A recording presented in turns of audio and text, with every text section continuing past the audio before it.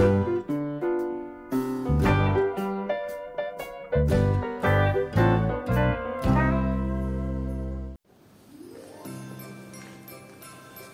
leggenda del panettone. È un giorno di festa, stanno per giungere numerosi invitati e tutto è pronto per ricevere gli ospiti.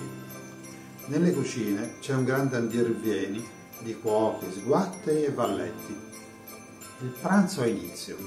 Sulle tavole, sontuosamente imbandite, vengono servite le prime portate, carni arrostite, cacciagione, pollame, pasticci carichi di spezie il tutto tra canti, risa, musiche, esibizione di giocolieri. Nelle cucine, intanto, il capocuoco sta vivendo un piccolo dramma.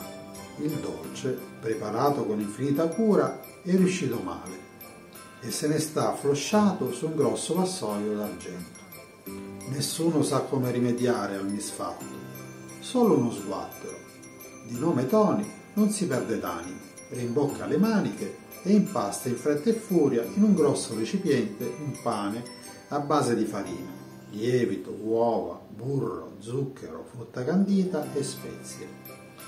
Quando già sta per infornare il pane, scopre un barattolo pieno di uvetta e aggiunge anche quella all'impasto.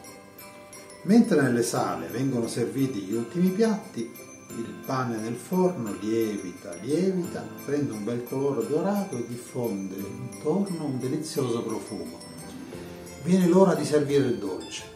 Lo sguattero, nascosto dietro un tendaggio, spia con ansia commensali. Dietro di lui, ancor più preoccupato, sta il capocuoco. Se il dolce non avrà successo, le conseguenze saranno disastrose.